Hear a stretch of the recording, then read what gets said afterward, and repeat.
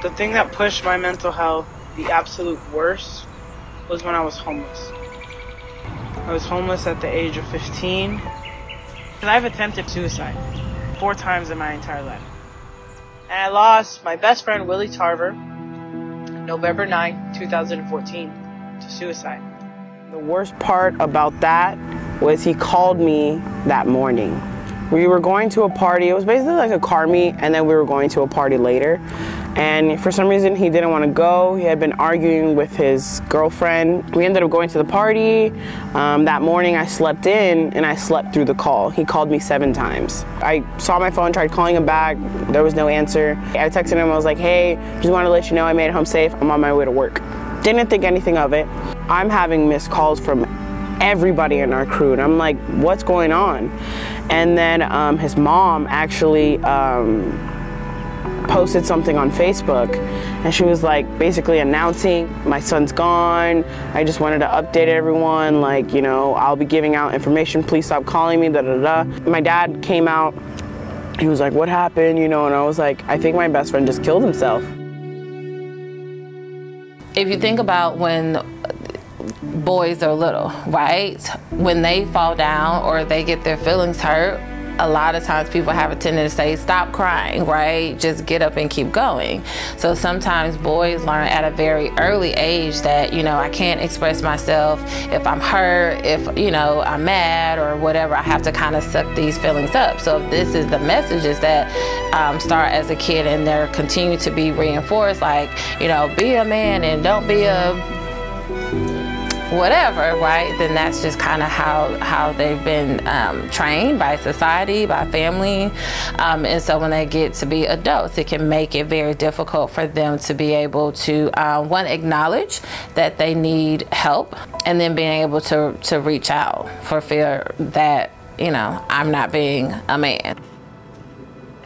In a blink of an eye, he was gone, and it really, it really made me realize that suicide doesn't it doesn't end the pain. It just passes it along to someone else. Society needs to talk about what are the signs? What can they do? Because there's a bunch of people that don't care.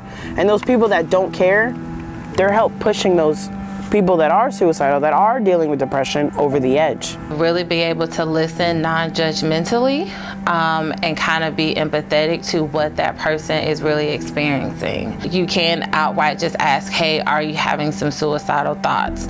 Um, there's myths out there that if you ask someone that that's going to put that idea in their head, and that's just absolutely not true.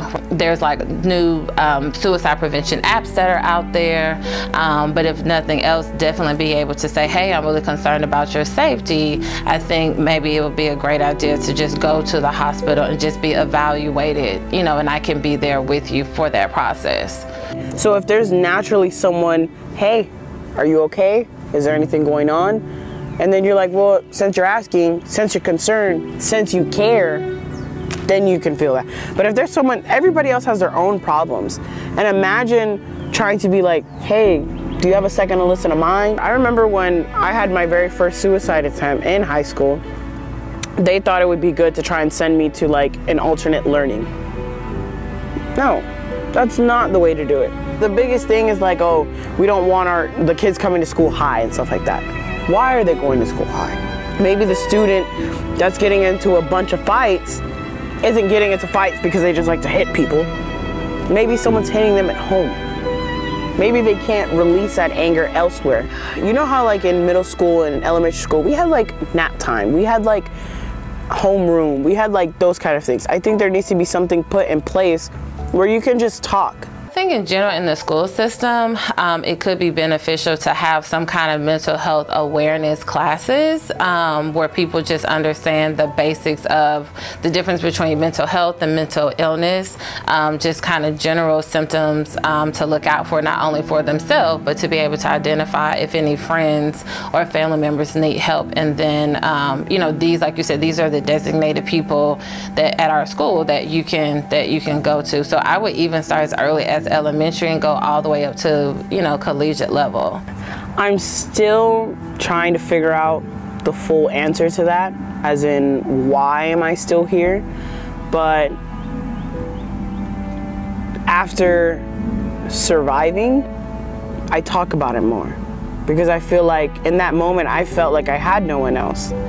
And I know whoever else goes into that moment, they feel the exact way. So why don't I reach out? Like I reach out a whole lot more to other people now, you know, and I feel it also has to do some with Willie. I've only attempted four times, but all four of those times I reached out to someone, a final like reach out. So I make it known that I can be that final reach out for you. And there have been some people that I've stopped or not, I don't want to say stopped or saved, but that I've made them realize this isn't the answer to their problem.